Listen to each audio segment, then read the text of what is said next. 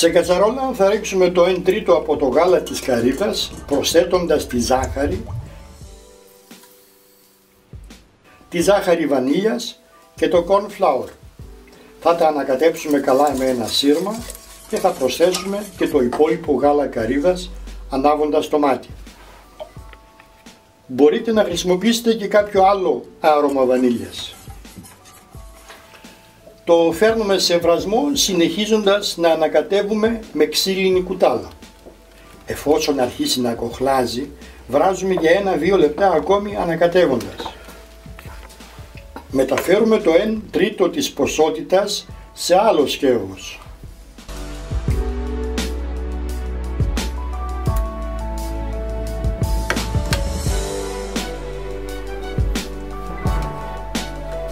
προσθέτουμε στη μεγάλη κατσαρόλα το κακάο και ανακατεύοντας το βράζουμε για ένα λεπτό ακόμη.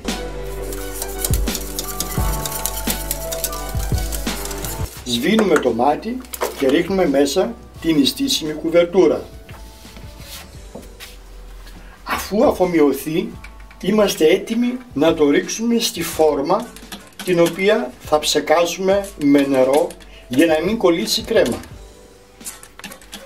Θα ρίξουμε πρώτα τη μισή σοκολάτα. Πω, πω, πω, τι παχύρευστη που έγινε. Θα την αναταράξουμε για λίγο και θα προσθέσουμε τώρα τη λευκή κρέμα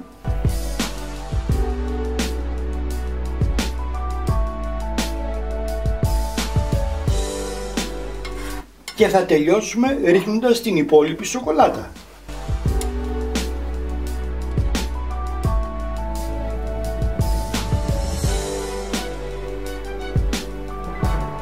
Την απλώνουμε ομοιόμορφα θα τοποθετήσουμε το καυτό γλυκό πάνω σε σχάρα αφήνοντάς το να κρυώσει πριν το βάλουμε για διανυκτέρευση στο ψυγείο. Την επόμενη μέρα ξεκολλάμε με ένα μαχαίρι το γλυκό από τα τυχώματα.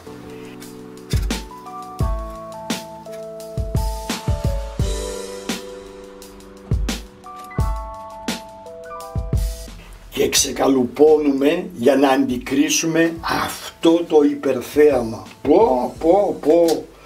Ούτε εγώ το περίμενα. Και για να τελειοποιήσουμε το έργο θα το πασπαλίσουμε με τριμμένη καρύδα.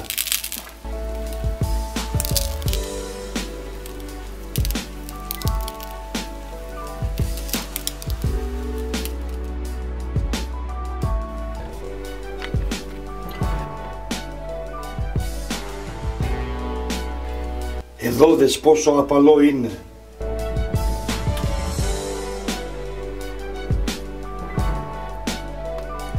Να και το πρώτο κομμάτι.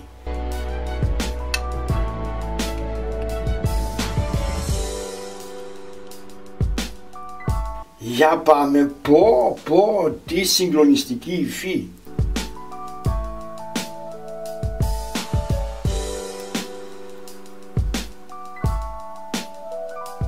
Μμμ, τι πλούσιος συνδυασμός γεύσεων καρύδας και σοκολάτας, τι δροσερό.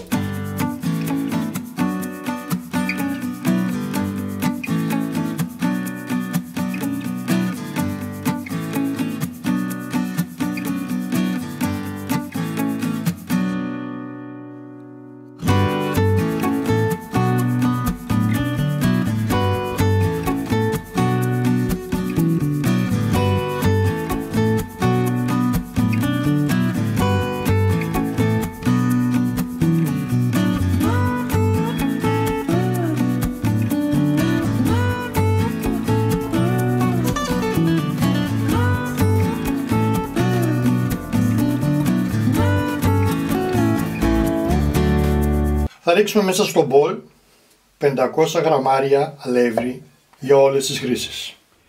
3 γραμμάρια μαγιά ξηρή. 8 γραμμάρια αλάτι. Θα τα ανακατέψουμε.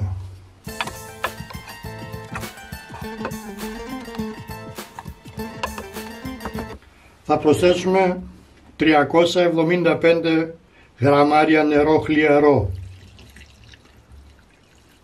και δύο κουταλιές της σούπας ελαιόλαδο.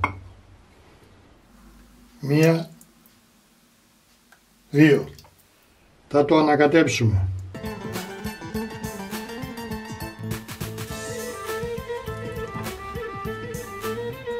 Θα το σκεπάσουμε και θα το αφήσουμε σε ζεστό σημείο να διπλασιαστεί τουλάχιστον σε όγκο. Στο μεταξύ πάμε να μαζέψουμε λίγα μυρωδικά. Ρίγανη, δύο ειδών. Θυμάρι,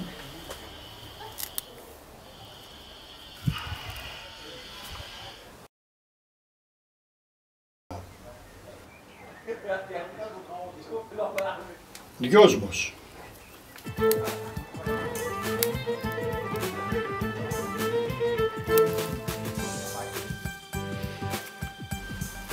Θα ψιλοκόψουμε τα μυρωδικά. Αν δεν έχουμε φρέσκα μπορούμε να χρησιμοποιήσουμε και ξερά φυσικά. Δυόσμος. Ρίγανη, θυμάρι,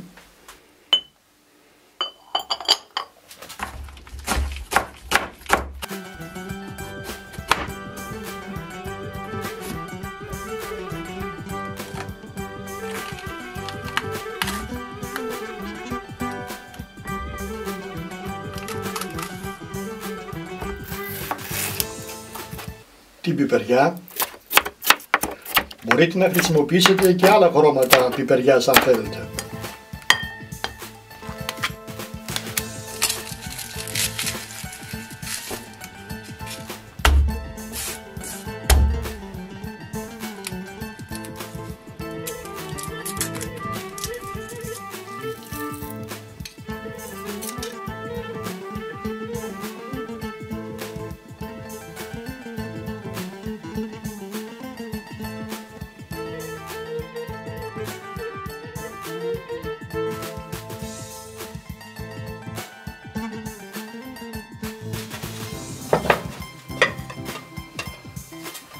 Λοιπόν, έμεινε για μία ώρα σε ζεστό σημείο.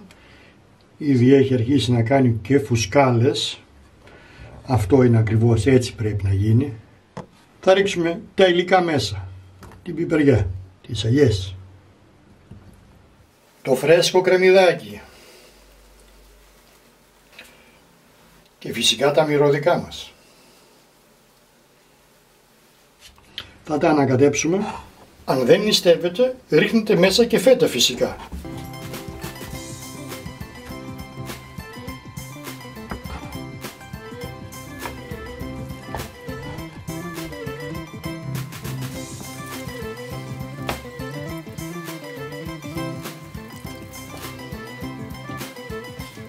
Θα το ανακατέψουμε πολύ καλά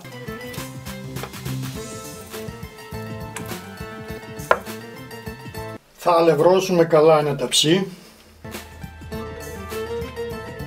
και θα αδειάσουμε μέσα το ζυμάρι μας.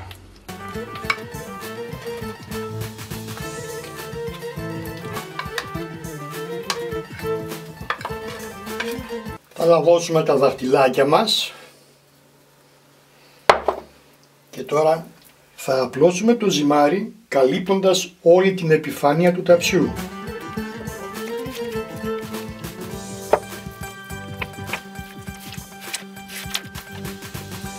Αφού το απλώσουμε στο ταψάκι θα πάρουμε λάδι με τα δάχτυλά μας και θα το λαδώσουμε ελαφρώς από πάνω. Θα το σκεπάσουμε με μία λαδόκολα ή τέλος πάντων με κάτι άλλο και θα το αφήσουμε όπως είναι εδώ 15 λεπτά να ανέβει λίγο. Έμεινε για 20 λεπτά σκεπασμένο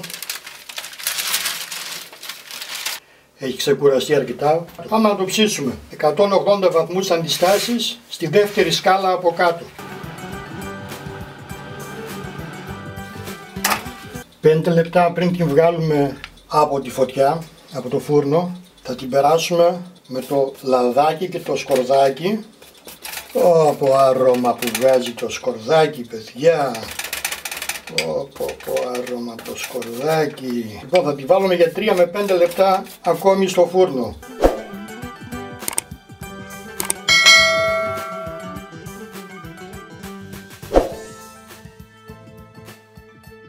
Πω, πω, αρώματα. Λοιπόν, έμεινε 36 λεπτά συνολικά στο φούρνο, 180 βαθμούς. Τώρα από άρωμα δεν σας λέω τίποτα. Έχει ευωδιάσει το σπίτι σκορδάκι. Θα τη βγάλουμε από το ταψί και θα τη βάλουμε πάνω στη σχάρα.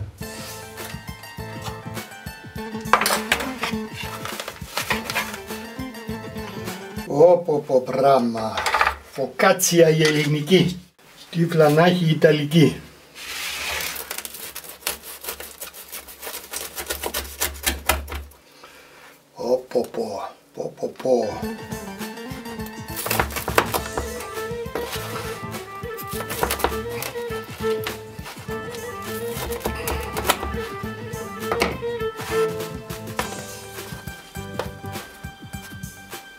Καλά είναι να την καταναλώσουμε ζεστή.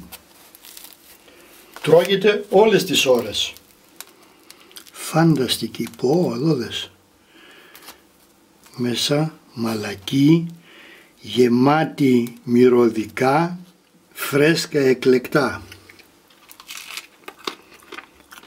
Μμμ, γεύση ελληνικότατη.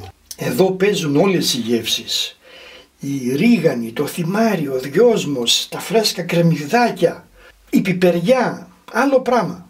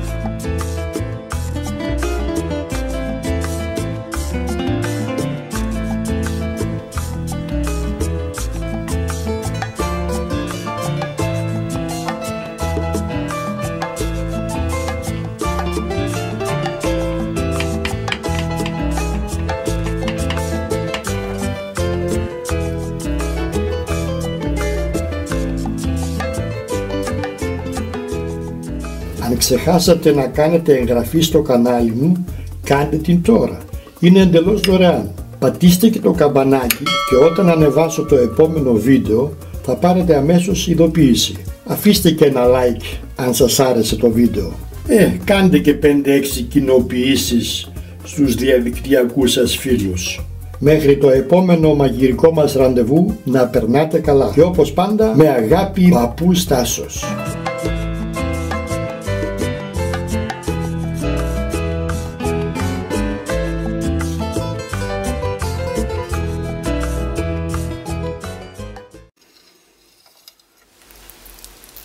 Γεια σας φίλοι μου. Κλασικό χαλβάσι μυγδαλένιο ξέρουμε όλοι να κάνουμε. Και εγώ αυτό θα φτιάξω σήμερα, αλλά με μία μικρή διαφορά. Θα έχει από πάνω ένα λεπτό στρώμα λευκής κρέμας σαν χιόνι.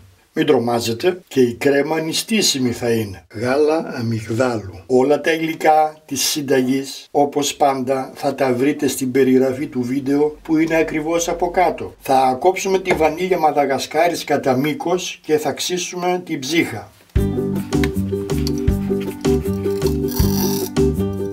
Σε ένα μπολ θα αραιώσουμε με 5 κουταλιές της σούπας από το αμυγδαλόγαλα της συνταγής, το corn flour και τη ζάχαρη.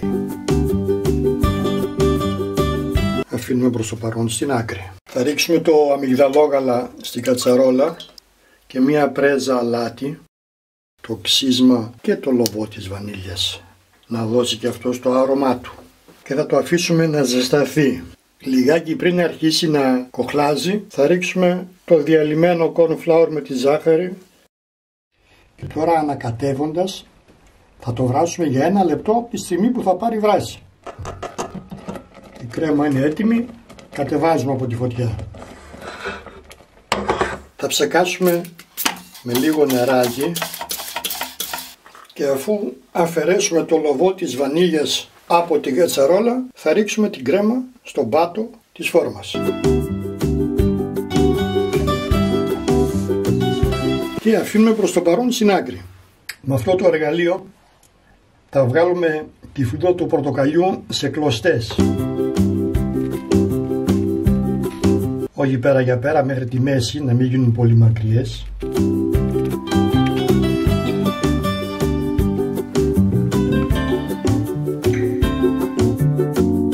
Για να μην πάει χαμένο το πορτοκάλι θα αντικαταστήσουμε την ποσότητα του χυμού του με το νερό της συνταγής. Θα βάλουμε σε μέτρια φωτιά μία μεγάλη και μία μικρή κατσαρόλα. Στη μεγάλη θα καβουρδίσουμε το σιμιγδάλι και στη μικρή θα κάνουμε το ζαχαρόνερο όπου θα ρίξουμε όλα τα συστατικά μαζί. Στη μεγάλη κατσαρόλα θα προσθέσουμε τώρα το σιμιγδάλι, δεν αφήνουμε το λάδι να κάψει πάρα πολύ. Τώρα το ζητούμενο είναι να μην κάψουμε το σιμιγδάλι. Γι' αυτό θέλει συνέχεια ανακάτεμα. Συνέχεια ανακάτεμα ώσπου να πάρει το επιθυμητό χρώμα που θέλουμε.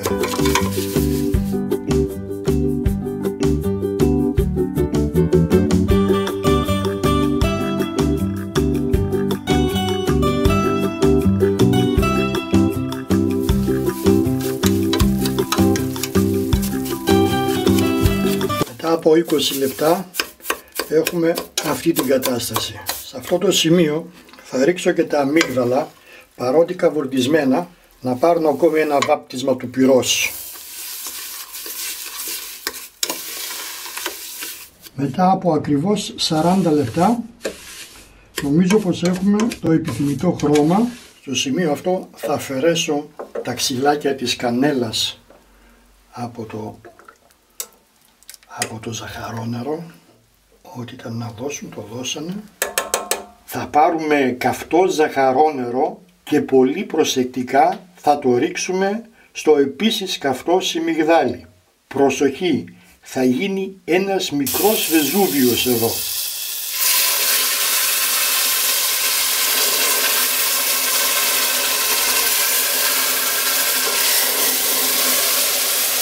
Σκέτη λάβα είναι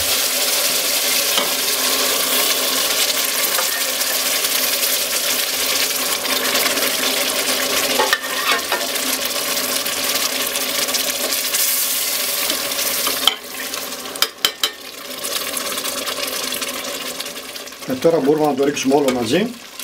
Ό,τι πρέπει να γίνει έγινε.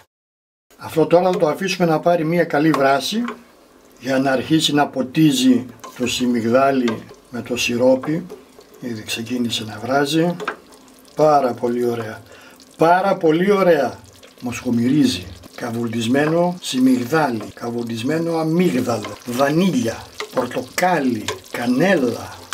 Θα κλείσουμε το μάτι και θα βάλουμε πάνω το καπάκι θα το αφήσουμε 3-4 λεπτά πριν συνεχίσουμε τώρα μάλιστα είναι έτοιμος ο χαλβάς να τον ρίξουμε στη φόρμα είναι μια χαρά ο, τέλειος, τέλειος θα τον πάρουμε τώρα από την κατσαρόλα και θα τον ρίξουμε στη φόρμα στην οποία είχαμε βάλει πιο μπροστά την ωραία κρέμα που κάναμε με το αμυγδαλόγαλα.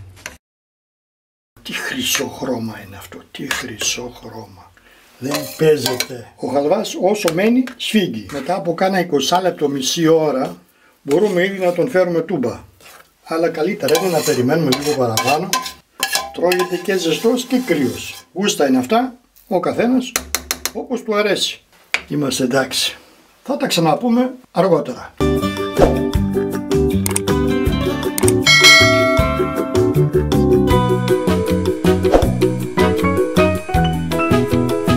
Λοιπόν έχει κρυώσει τελείως το γλυκό. Για να δούμε τι κάναμε. Θα τον φέρουμε τούμπα.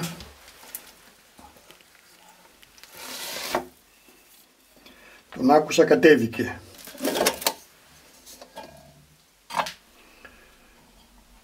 Βολά.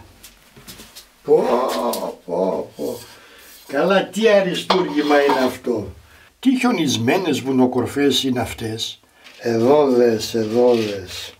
Τι αριστούργημα είναι αυτό που βγήκε; Με επικάλυψη κρέμα βανίλιας, με φυσική βανίλια μαδαγασκάρης και φυτικό γάλα αμυγδάλου. Θα το πασπαλίσουμε και με λίγα φιλέτα αμυγδάλου, καβουρδισμένα. Τέλειος χαλβάς.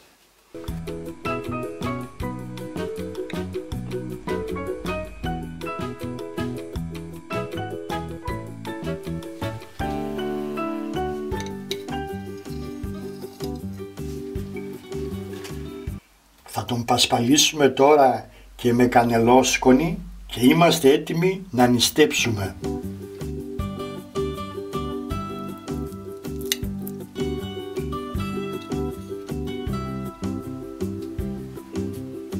Μη μου πείτε ότι ξαναφάγατε τέτοιο χαλβά.